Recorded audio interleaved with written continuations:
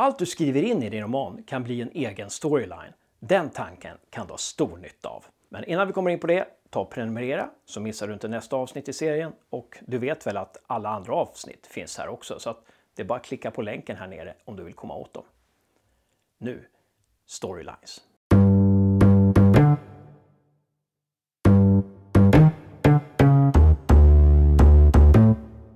Vi kan kalla det för storylines, vi kan kalla det för handlingar, vi kan kalla det spår, men vi menar ungefär samma sak.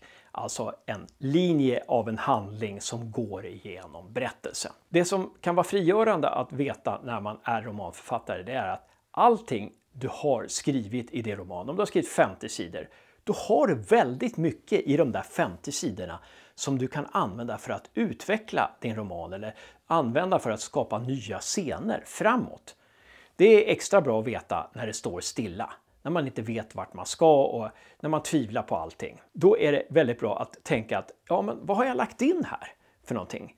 Och hur kan jag göra dem till egna storylines? Det behöver inte bli några stora sensationer, några stora vändpunkter. Men bara det faktum att du vet det kan vara en stor hjälp. Protagonisten kanske minns en sak och det minnet kan du göra till en egen storyline som du utvecklar i några steg.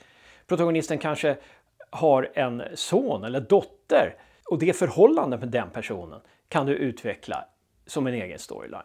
Jag ska ge dig ett exempel här. Du kanske vet vad protagonisten gör i romanen hittills, men då kan du också tänka på protagonistens inre utveckling och se det som en egen storyline som du utvecklar bit för bit. Kanske för att ta reda på att ja, se om det här kan leda någonstans i romanen, se om jag kan använda mig av det här.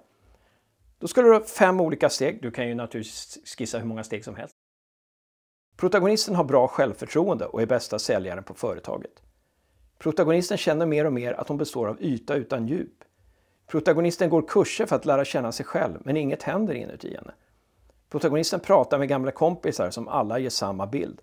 Hon var okänslig som barn. Det chockar henne. Protagonisten ser till att vara med om en olycka för att känna något. Hon känner fysisk smärta. Det känns bra. Men ingen i hennes närhet tycker synd om henne. Här spånade jag fram en inre utvecklingskurva.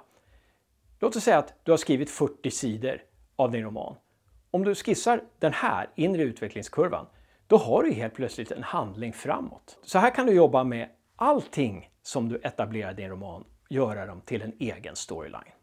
Men nu ska du få göra en egen övning. Se om du kan fortsätta att utveckla storylinen protagonisten blir kär i sin kollega. Jag har skrivit det första steget. 1. Protagonisten flörtar med kollegan.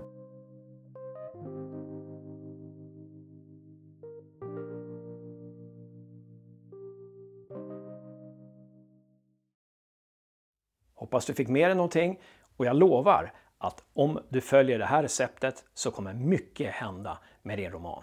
Du kanske inte använder allting, men mycket kommer hända med den. Lycka till med den!